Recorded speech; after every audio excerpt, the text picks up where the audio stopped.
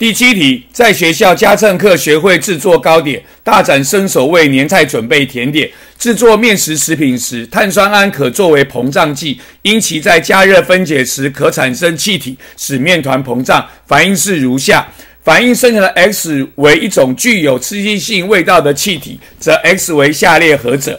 那么我们这题有两种解法，第一种呢是利用我们的道尔顿的原子说，加上一些我们曾经学过的知识来判断。我们学过的知识里面，我们告诉我们二氧化硫跟氨呢是有刺激性味道的气体，所以答案是 C 或者猪。但是道尔顿的原子说告诉我们，化学反应只是原子的重新排列组合，其种类跟数目没有。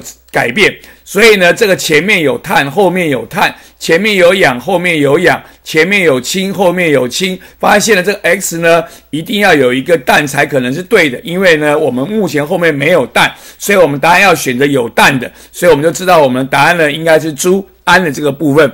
第二种解法是，也是道尔顿的原子说，但是是利用我们根据道尔顿原子说所做的化学反应的平衡，我们前面有一个碳。后面有一个碳，所以碳解决了。前面有三个氧，后面有二加一个氧，所以有氧也解决了。